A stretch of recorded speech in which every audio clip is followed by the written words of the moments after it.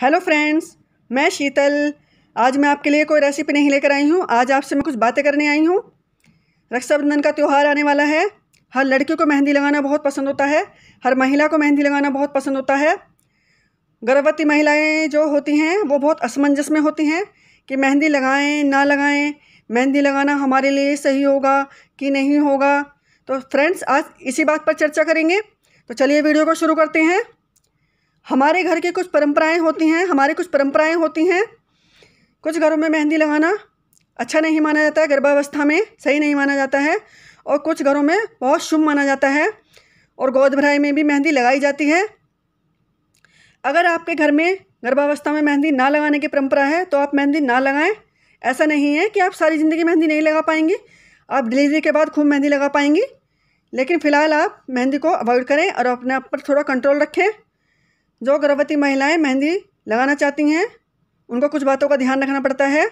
गर्भावस्था में हमारी जो स्किन होती है, वो बहुत सेंसिटिव हो जाती है। कोई भी केमिकल हमारी स्किन पर बहुत जल्दी रिएक्ट रिएक्शन करता है रिएक्ट कर जाता है। तो आपको बहुत ध्यान रखना है अपनी स्किन का भी, अपने शिशु का भी और अपना भी ध्यान में रखते हुए, जो बाज़ार में कौन मिलते हैं, आप उनको बिल्कुल ख़रीद के ना लाएँ, क्योंकि उसमें पता नहीं किस किस तरह का केमिकल मिला होता है, जो आपको बहुत नुकसान पहुँचा देता है। आपकी स्किन को भी नुकसान पहुंचाएगा, आपको भी और आपके शिशु को भी नुकसान पहुँचा सकता है। तो आप वो जो बाज़ार में कौन मिलते हैं, आप उनको खरीद कर ना लाएँ। प्राकृतिक मेहंदी का ही इस्तेमाल करें। प्राकृतिक मेहंदी की बहुत सारी वैरायटियाँ बाज़ार में मिल जाती हैं। तो आप उस प्राकृतिक मेहंदी को खरीद के लाएँ, घर में ही लाकर घोल बनाएँ और आप केप भी आराम से बना सकती हैं। बहुत आसानी से बन जाती है केप घर में। अगर आपको बनानी नहीं आती तो आप नेट पर सर्च कर लीजिए और आप आराम से केक बना सकती हैं। और आप बहुत अच्छे से, बहुत सुंदर सी मेहंदी घर में ही लगा सकती हैं। आप अपने त्यौहार को एंजॉय कीजिए मेहंदी लगाकर, बहुत अच्छे से। और आप अपना ध्यान रखिए। और अगर आपके पास कोई मेहंदी का पेड़ है, आपके घर के आसपास अगर कोई मेहंदी का पेड़ है तो आप उसकी पत्तियाँ मंगवाएँ, आपकी पत्तियाँ, उसकी पत्तियाँ लेके आएँ, उसका घोल बनाएँ, उसको पीस कर,